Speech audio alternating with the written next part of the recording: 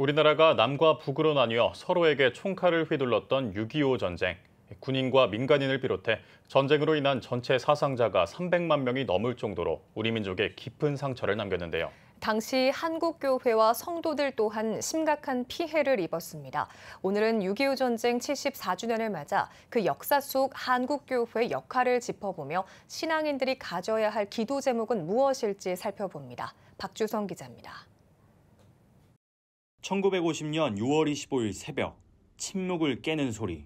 소련과 중국을 등에 업은 김일성 치하의 북한 공산군이 38선을 넘어 불법 남침한 동족 상잔의 비극 6.25 전쟁입니다.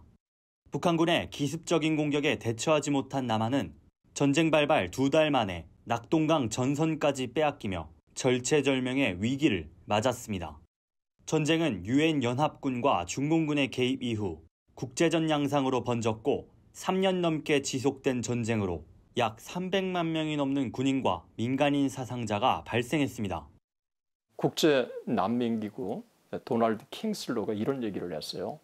내 생애의 전 경험 속에서 나는 한국에서처럼 대규모로 진행된 파괴와 인간의 고난을 결코 목도한 적이 없습니다.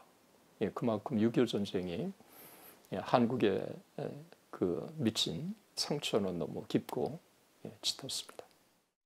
한국교회의 피해 또한 심각했습니다. 남한 목회자 중 절반 이상이 행방불명됐을 뿐 아니라 예배를 드려야 할 교회는 1,300여 개가 넘게 파괴됐습니다. 또 성서공회, YMCA 등 한국 기독교 기관들도 전쟁으로 인해 심각한 피해를 입었습니다. 이런 전쟁의 상흔 속에서도 기독교는 민족의 위로가 됐습니다. 한국교회는 피난민들에게 교회 공간을 임시 거처로 제공하고 청소년 교육기관을 세우는 등 나라의 재건을 위해 힘썼습니다. 특히 전 세계 그리스도인들의 헌신은 더욱 빛을 발했습니다. 기독교 세계 봉사회, 월드비전 국제선교협의회 등 해외 기독교 기관들은 전쟁 피해 복구에 필요한 물자 지원을 아끼지 않았습니다. 한국은 전쟁의 위기 속에서도 오히려 세계의 교회를 통해서 축복을 받게 되고 또 한국의 교회와 지도자들은 전쟁의 위기를 오히려 한국교회 발전 또 민족의 참 발전을 어, 위한 하나의 참 모멘텀으로 어, 삼게 되었습니다. 6.25 전쟁 발발 74주년을 맞은 지금 북한의 계속된 도발로 보이지 않는 남북 갈등이 계속되는 가운데 한국 교회와 성도들은 어떤 기도 제목을 가져야 할까? 기독교 역사학자들은 전쟁의 불안과 위협 속에서도 지금까지 대한민국을 인도하신 하나님 은혜에 감사해야 한다고 말합니다. 또 사랑의 기도를 통해 한반도의 통일을 넘어 세계 선교를 향한 소망을 품자고 강조합니다.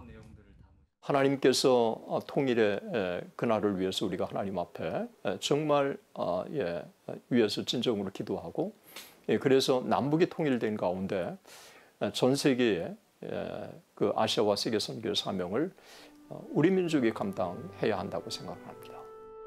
6.25 전쟁의 비극 속에서도 빛난 그리스도인들의 헌신. 한국교회가 기억해야 할 참된 사랑의 정신입니다. CTS 뉴스 박주성입니다.